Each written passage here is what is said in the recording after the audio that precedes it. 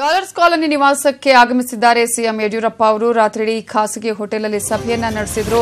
ಬಳಿಕ ಈಗ ಮನೆಗೆ ವಾಪಸ್ಸಾಗಿದ್ದಾರೆ. ತನ್ನ ಸಂಖ್ಯಾಬಲವನ್ನು ಸಾಬೀತುಪಡಿಸಿಕೊಳ್ಳೋದಕ್ಕೆ ತಲೆಕೆಡಿಸಿಕೊಳ್ತಾ ಇದ್ದಾರೆ ಇದ್ದಾರೆ. ಬಿಎಸ್ ಯಡಿಯೂರಪ್ಪ ಅವರು, ಕಾಂಗ್ರೆಸ್, ಜೆಡಿಎಸ್ ಶಾಸಕರು ಕೂಡ ಒಂದ್ ಸಂಪರ್ಕಕ್ಕೆ ಸಿಗ್ತಾ ಇಲ್ಲ. ಈ ಹಿನ್ನೆಲೆಯಲ್ಲಿ ಯಾವ ರೀತಿಯಾಗಿ ಇವತ್ತು ಸಂಖ್ಯಾಬಲ ಸಾಬೀತುಪಡಿಸಬೇಕು ಅನ್ನುವಂತಹ ನಿಟ್ಟಿನಲ್ಲಿ ಸುಪ್ರೀಂ ಕೋರ್ಟ್ ಅಲ್ಲಿ ಕೂಡ ಈಗಾಗಲೇ ಹಿಯರಿಂಗ್ ಇದೆ. ಇವತ್ತು ಹತ್ತು ಮೂವತ್ತಕ್ಕೆ. ಈ ಹಿನ್ನೆಲೆಯಲ್ಲಿ ಸಾಕಷ್ಟು ತಲೆಕೆಡಿಸಿಕೊಂಡಿದ್ದಾರೆ ಬಿ ಎಸ್ ಯಡಿಯೂರಪ್ಪ ಅವರು. ರಾತ್ರಿ ಪೂರ್ತಿ ಹೈಕಮಾಂಡ್ ನಾಯಕರ ಜೊತೆ ಬಹುಮತ ಸಾಬೀತಿನ ಬಗ್ಗೆ ಕೂಡ ಚರ್ಚೆಯನ್ನ ನಡೆಸಿದ್ದಾರೆ. ಇನ್ನು ರಾತ್ರಿ ಇಡೀ ಕೂಡ ಹೋಟೆಲಲ್ಲೇ, ಖಾಸಗಿ ಹೋಟೆಲಲ್ಲಿ ತಂಗಿದ್ರು ಅನ್ನುವಂತಹ ಮಾಹಿತಿ ಕೂಡ ಇದೆ. ಈಗ ರಾತ್ರಿ ಇಡೀ ಖಾಸಗಿ ಹೋಟೆಲಲ್ಲಿ ಸಭೆಯ ಬಳಿಕ ಅವರು ತಮ್ಮ ನಿವಾಸಕ್ಕೆ ವಾಪಸ್ಸಾಗಿದ್ದಾರೆ. ಸಂಖ್ಯಾಬಲವನ್ನು ಸಾಬೀತುಪಡಿಸುವುದಕ್ಕೆ ಬಿಎಸ್ವೈ ತಲೆ ಕೆಡಿಸಿಕೊಳ್ತಾ ಇದ್ದಾರೆ ಅನ್ನುವಂತಹ ಮಾಹಿತಿಗಳು ಕೂಡ ಲಭ್ಯ ಆಗ್ತಾ ಇದೆ. ಕಾಂಗ್ರೆಸ್, ಜೆಡಿಎಸ್ ಶಾಸಕರು ಮಾತ್ರ ಸಂಪರ್ಕಕ್ಕೆ ಇನ್ನು ಕೂಡ ಸಿಗದೇ ಇರುವಂತಹ ಹಿನ್ನೆಲೆಯಲ್ಲಿ ಎಲ್ಲರೂ ಕೂಡ ರೆಸಾರ್ಟ್ ರಾಜಕಾರಣದಲ್ಲಿ ಇರುವಂತಹ ಹಿನ್ನೆಲೆಯಲ್ಲಿ ಈಗ ಬಿಎಸ್ ಯಡಿಯೂರಪ್ಪ ಅವರು ಸಾಕಷ್ಟು ಆತಂಕಕ್ಕೆ ಒಳಗಾಗಿದ್ದಾರೆ ಅನ್ನುವ ಮಾಹಿತಿ ಕೂಡ ಲಭ್ಯ ಆಗ್ತಾ ಇದೆ. ಒಟ್ಟಾರೆ ಈಗ ರಾತ್ರಿ ಇಡೀ ಖಾಸಗಿ ಹೋಟೆಲಲ್ಲಿ ಸಭೆಯನ್ನ ನಡೆಸಿದ ನಂತರ ಬಿಜೆಪಿ ವರಿಷ್ಠರ ಜೊತೆ ಆಗಿರ್ಬೋದು ಬಿಜೆಪಿ ಮುಖಂಡರ ಜೊತೆ ಚರ್ಚೆಯನ್ನ ಮಾಡಿದ ನಂತರ, ಸಭೆಯನ್ನ ಮಾಡಿದ ನಂತರ ಖಾಸಗಿ ಹೋಟೆಲಲ್ಲೇ ತಂಗಿದ್ದಂತಹ ಯಡಿಯೂರಪ್ಪ ಅವರು ಈಗ ತಮ್ಮ ಡಾಲರ್ಸ್ ಕಾಲೋನಿ ನಿವಾಸಕ್ಕೆ ಆಗಮಿಸಿದ್ದಾರೆ.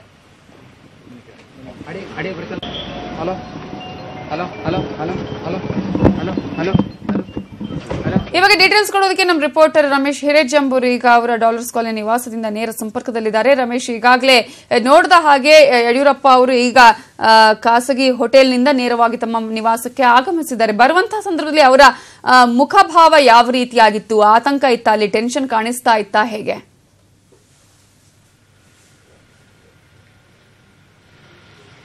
ನವಿತಾ ಜಾನ್ ಇವತ್ತು ಅತ್ಯಂತ ಪ್ರಮುಖವಾದಂಥ ಘಟ್ಟ, ಯಾಕೆಂದರೆ ಸುಪ್ರೀಂ ಕೋರ್ಟ್ನಲ್ಲಿ ಬಿ ಜೆ ಪಿಯ ಏನು ಸದಸ್ಯ ಬಲ ಏನಿದೆ ಅನ್ನೋಂಥದ್ದು ಸಾಬೀತು ಮಾಡಬೇಕಾಗಿದೆ. ಸೊ ಈ ಹಿನ್ನೆಲೆಯಲ್ಲಿ ಸಹಜವಾಗಿ ಯಡಿಯೂರಪ್ಪನವರಿಗೆ ಇವತ್ತು ಒಂದು ರೀತಿ ಟೆನ್ಷನ್ ಇದೆ ಅಂತಲೇ ಹೇಳ್ಬೋದು.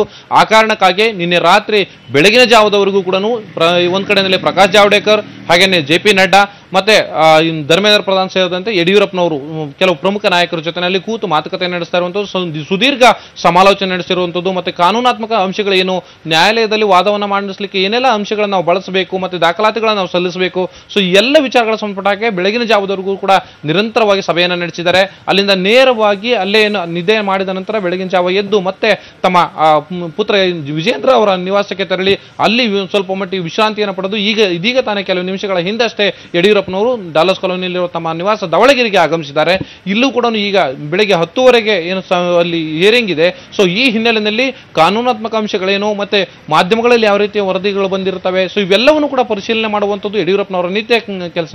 ಸೊ ಹಾಗಾಗಿ ಇವತ್ತು ಏನು ಸುಪ್ರೀಂ ಕೋರ್ಟ್ನಲ್ಲಿ ವಿಚಾರಣೆ ಇರುವ ಹಿನ್ನೆಲೆಯಲ್ಲಿ ತಾವು ಏನೆಲ್ಲ ಮಾಡಬೇಕು ಅನ್ನುವಂಥ ಟೆನ್ಷನ್ ಒಂದು ಕಡೆ ಆದರೆ ಮತ್ತೊಂದು ಕಡೆಯಲ್ಲಿ ಕೊನೆಯ ಗಳಿಗೆಯಲ್ಲಿ ಬಿಜೆಪಿಗೆ ಬೆಂಬಲವನ್ನು ಕೊಡಲಿಕ್ಕೆ ಅಣಿಯಾಗಿದ್ದಂಥ ಶಾಸಕರು ಬಿಜೆಪಿಯ ನಾಯಕರ ಸಂಪರ್ಕಕ್ಕೆ ಸಿಗ್ತಾ ಇಲ್ಲ, ಯಡಿಯೂರಪ್ಪನವರ ಸಂಪರ್ಕಕ್ಕೆ ಸಿಗ್ತಾ ಇಲ್ಲ.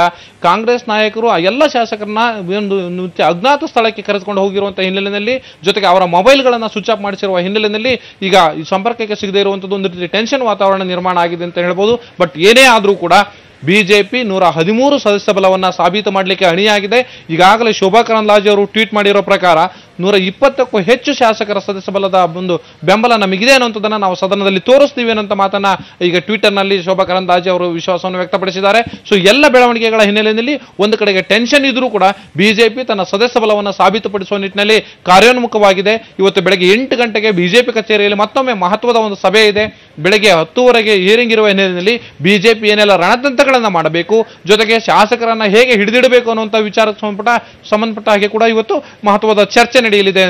Navita Jain. Okay thank you Ramesh ಡೀಟೇಲ್ಸ್ಗೆ CM ಆಗಿ ಬಿಎಸ್ವೈ ಪ್ರಮಾಣ ವಚನ ಸ್ವೀಕಾರಕ್ಕೆ ಆಹ್ವಾನ ನೀಡಿದ ರಾಜ್ಯಪಾಲರ ಕ್ರಮವನ್ನ ಪ್ರಶ್ನಿಸಿ ಕಾಂಗ್ರೆಸ್, ಜೆಡಿಎಸ್, ಸುಪ್ರೀಂ ಕೋರ್ಟ್ಗೆ ಸಲ್ಲಿಸಿದ ರಿಟ್ ಅರ್ಜಿಯ ವಿಚಾರಣೆ ಇವತ್ತು ಬರಲಿದೆ. ತ್ರಿಸದಸ್ಯ ಪೀಠದಲ್ಲಿ ಇವತ್ತು ಬೆಳಗ್ಗೆ ಹತ್ತು ಮೂವತ್ತಕ್ಕೆ ಅರ್ಜಿ ವಿಚಾರಣೆಗೆ ಬರಲಿದೆ. ರಾಜ್ಯಪಾಲರಿಗೆ ಬಿಜೆಪಿ ಸಲ್ಲಿಸಿದ ಶಾಸಕರ ಸಹಿ ಪತ್ರದ ಪ್ರತಿಯನ್ನ ತ್ರಿಸದಸ್ಯ ಪೀಠಕ್ಕೆ ಸಲ್ಲಿಸಬೇಕಿದೆ. ಸರ್ಕಾರ ರಚನೆಗೆ ರಾಜ್ಯಪಾಲರು ಆಹ್ವಾನ ನೀಡಿದ ಕ್ರಮ ಹಾಗೂ ಬಹುಮತ ಸಾಬೀತಿಗೆ ಹದಿನೈದು ದಿನ ಕಾಲಾವಕಾಶ ನೀಡಿದಂತಹ ಈ ಎರಡೂ ವಿಚಾರವನ್ನ ಸುಪ್ರೀಂ ಕೋರ್ಟ್ ಇವತ್ತು ಪರಾಮರ್ಶೆ ನಡೆಸಲಿದೆ. ಈ ಬಗ್ಗೆ ಡೀಟೇಲ್ಸ್ ಕೊಡೋದಕ್ಕೆ ನಮ್ಮ ರಿಪೋರ್ಟರ್ ಧರ್ಣೇಶ್ ಈಗ ಫೋನ್ ಸಂಪರ್ಕದಲ್ಲಿದ್ದಾರೆ. ಧರ್ಣೇಶ್, ಈಗಾಗಲೇ ಮೊನ್ನೆ ಕೂಡ ರಾತ್ರಿ ಇಡೀ ಒಂದು ಹಿಯರಿಂಗ್ ಆಗಿದೆ. ಅದರಲ್ಲೂ ಕೂಡ ಜೆಡಿಎಸ್ ಕಾಂಗ್ರೆಸ್ ಶಾಸಕರುಗಳು ಸಾಕಷ್ಟು ಆರೋಪಗಳನ್ನು ಕೂಡ ಮಾಡಿದ್ರು. ಈ ಹಿನ್ನೆಲೆಯಲ್ಲಿ ಇವತ್ತು ಈಗ ಹತ್ತು ಮೂವತ್ತಕ್ಕೆ ಇವತ್ತು ವಿಚಾರಣೆಗೆ ಬರಲಿದೆ. ಯಾವೆಲ್ಲ ನಿರೀಕ್ಷೆಗಳನ್ನ ಇಟ್ಕೊಳ್ಬಹುದು ಅಂತ ಅನ್ಸುತ್ತೆ ಅಥವಾ ಯಾರ ಪಾಲಾಗಬಹುದು ಇವತ್ತಿನ ಈ ಒಂದು ಸುಪ್ರೀಂ ಕೋರ್ಟ್ ನಡೆಯುವಂತಹ ವಿಚಾರಣೆ? ನಮಿತಾ ನಿನ್ನೆಯಷ್ಟೇ ಮುಖ್ಯಮಂತ್ರಿಯಾಗಿ ಪ್ರಮಾಣ ವಚನ ಸ್ವೀಕರಿಸಿರುವಂತಹ ಯಡಿಯೂರಪ್ಪ ಅವರ ಕಾನೂನಿನ ಸಮರ ಇವತ್ತು ಒಂದು ನಿರ್ಣಾಯಕ ಅಂತ ತಲುಪಿದೆ. ಯಾಕೆಂತಂದ್ರೆ ಆ, ಯಡಿಯೂರಪ್ಪ ರಾಜಭವನಕ್ಕೆ ಕಳಿಸಿದ್ದಂತಹ ಶಾಸಕರ ಸಹಿಯುಳ್ಳ ಪತ್ರವನ್ನ ಸುಪ್ರೀಂ ಕೋರ್ಟ್ಗೆ ಸಲ್ಲಿಸಬೇಕು ಅಂತ ಹೇಳಿ ನಿನ್ನೆ ಸುಪ್ರೀಂ ಕೋರ್ಟ್ ನಿರ್ದೇಶನವನ್ನ ನೀಡಿತ್ತು. ಹಾಗಾಗಿ ಇವತ್ತು ಆ ಪತ್ರವನ್ನ ಸಲ್ಲಿಸಬೇಕು.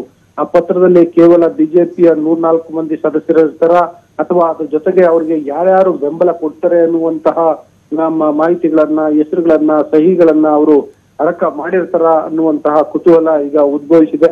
ಅದು ಒಂದ್, ಒಂದು ಕಡೆ ಆದ್ರೆ ಮತ್ತೊಂದ್ ಕಡೆ ಈಗ ನಿನ್ನೆ ನಡೆದಂತಹ ಬೆಳವಣಿಗೆನಲ್ಲಿ ರಾಮ್ ಜೆತ್ ಮಲಾನಿ ಅವರು ದೇಶದ ಬಹಳ ಹಿರಿಯ ನ್ಯಾಯವಾದಿಗಳು, ಅವರು ಸುಪ್ರೀಂ ಕೋರ್ಟ್ಗೆ ಒಂದು ದೂರನ್ನ, ಹೊಸ ದೂರನ್ನ ಸಲ್ಲಿಸಿದರೆ ಅವರು ಕೂಡ ಕರ್ನಾಟಕ ರಾಜ್ಯಪಾಲರ ನಡೆಯನ್ನ, ಅಂದ್ರೆ ಏಕೈಕ ದೊಡ್ಡ ಪಕ್ಷ ಎನ್ನುವ ಏಕೈಕ ಕಾರಣಕ್ಕೋಸ್ಕರ ಬಿಜೆಪಿಗೆ ಅವಕಾಶವನ್ನ ನೀಡಿದ ನಡೆಯನ್ನ ಖಂಡಿಸಿ ಪ್ರಶ್ನಿಸಿ ಸುಪ್ರೀಂ ಕೋರ್ಟ್ಗೆ ಅರ್ಜಿಯನ್ನ ಹಾಕಿದರೆ ಆ ಅರ್ಜಿಯ ವಿಚಾರಣೆ ಕೂಡ ಇವತ್ತು ಬರ್ತಿದೆ.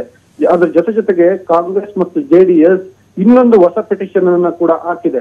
ಅಂದ್ರೆ ರಾಜ್ಯಪಾಲರು ಈಗ ಆಂಗ್ಲೋ ಇಂಡಿಯನ್ ಒಬ್ಬ ಒಬ್ಬ ಸದಸ್ಯರನ್ನ ನೇಮಕ ಮಾಡಿರೋದ್ರಿಂದ ಅದು ಬಿಜೆಪಿಗೆ ಪರೋಕ್ಷವಾಗಿ ಸಹಕಾರ ನೀಡ್ಲಿಕ್ಕೋಸ್ಕರನೇ ಮತ್ತು ಬಿಜೆಪಿಯ ಸಂಖ್ಯೆಯನ್ನ ವೃದ್ಧಿಸ್ಕೊಳ್ಳಿಕ್ಕೆ ಅನುಕೂಲ ಮಾಡ್ಕೊಡ್ಲಿಕ್ಕೆ ಈ ರೀತಿ ಆಂಗ್ಲೋ ಇಂಡಿಯನ್ ಸದಸ್ಯರನ್ನ ತರಾತುರಿಯಲ್ಲಿ ನೇಮಕ ಮಾಡಿದ್ದಾರೆ ಅಂತೇಳಿ ಆ, ಕಾಂಗ್ರೆಸ್, ಜೆಡಿಎಸ್ ಸುಪ್ರೀಂ ಕೋರ್ಟ್ ಮೊರೆ ಹೋಗಿದ್ದಾವೆ ಈ ಮೂರು ಪ್ರಕರಣಗಳನ್ನ ಇವತ್ತು ಸುಪ್ರೀಂ ಕೋರ್ಟ್ ಹತ್ತುವರೆಗೆ ವಿಚಾರಣೆಯನ್ನ ನಡೆಸುತ್ತೆ.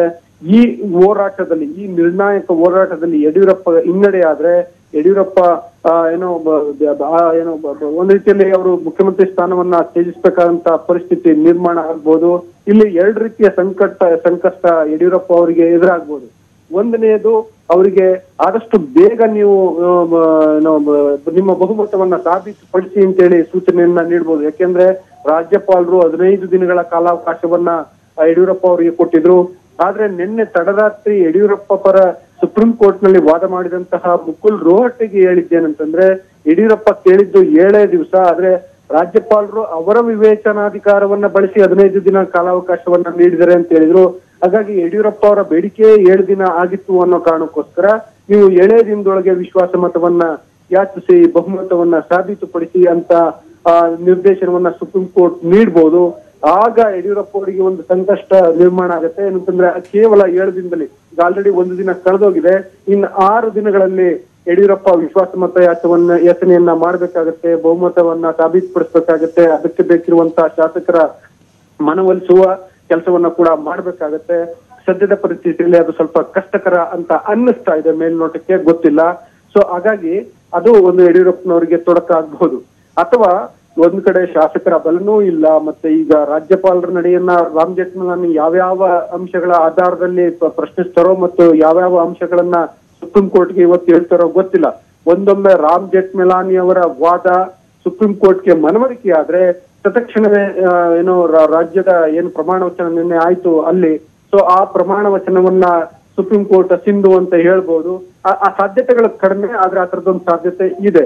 ಸೊ ಹಾಗಾಗಿ ಯಡಿಯೂರಪ್ಪ ಅವರಿಗೆ ಈ ಎರಡು ರೀತಿಯ ಸಂಕಷ್ಟಗಳು ಈಗ ನಿರ್ಮಾಣ ಆಗಿದಾವೆ. ಈ ಕಾನೂನಿನ ಸಮರ ನಿಜಕ್ಕೂ ಯಡಿಯೂರಪ್ಪ ಅವರಿಗೆ ನಿರ್ಣಾಯಕ ಆಗುತ್ತೆ. ಒಂದ್ ಕಡೆ ರಾಜಕೀಯವಾಗಿ ಅವರಲ್ಲಿ ಶಾಸಕರನ್ನ ಹೊಂದಿಸುವಂತದ್ದಾದ್ರೆ ಈ ಕಾನೂನಿನ ಸಮರ ಅವರಿಗೆ ಮತ್ತೊಂದು ನಿಟ್ಟಿನಲ್ಲಿ ಸಂಕಷ್ಟವನ್ನ ತಂದೊಡ್ಡಿದೆ ನವಿತಾ ಓಕೆ ಧರಣೇಶ್, ನೀವು ಹೇಳ್ತಾ ಇದ್ರಿ ಅಂದ್ರೆ ಈಗಾಗಲೇ ರಾಮ್ ಜೇಠ್ಮಲಾನಿ ನಿನ್ನೆ ಕೂಡ ಒಂದು ರೀತಿಯಾಗಿ ರಾಜ್ಯಪಾಲ ನಡೆಯನ್ನ ಪ್ರಶ್ನಿಸಿದ್ರು. ಹಾಗೆ ಇವತ್ತು ಕೂಡ ಅದು ಸೂಕ್ತವಾದಂತಹ ಪೀಠದ ಮುಂದೆ ಬರ್, ಬರುತ್ತೆ ಅನ್ನುವಂತಹ ಮಾತನ್ನ ಕೂಡ ನೀವು ಹೇಳಿದ್ರಿ.